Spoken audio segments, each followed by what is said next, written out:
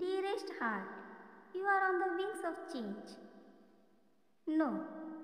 After the lunar eclipse, the energy of the universe is shifting dramatically. And in this energy shift, you are going to reflect your shadow side. So, your angels want you to give yourself time to process and pay attention to your feelings, intuition, or any other sign you are getting from the universe.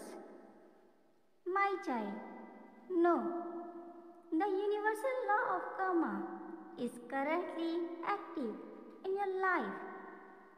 You will get what you have done in your past.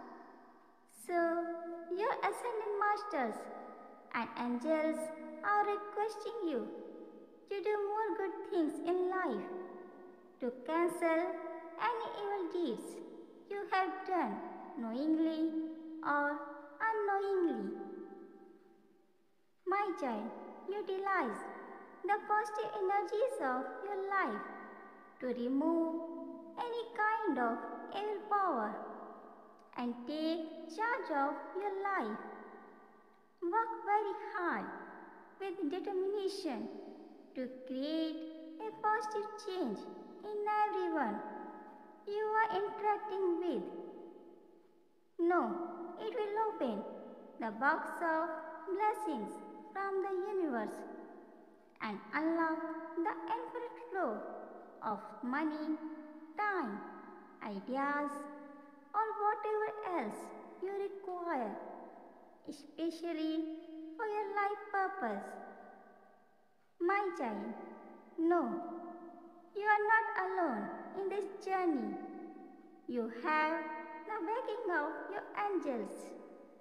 They are constantly watching you and guiding you on various occasions. So make the best choice today and utilize the time before it's too late. My child, no. The purpose of the universal energies is to only bring you closer to your destiny. A new chapter is set to open in your life, and no one can stand your track and progress if you operate your beliefs, thoughts, words, and actions from the seat of love and wisdom. So, build a positive attitude, do good deeds, and open the door of blessings to shift your life. With infinite love, thank you.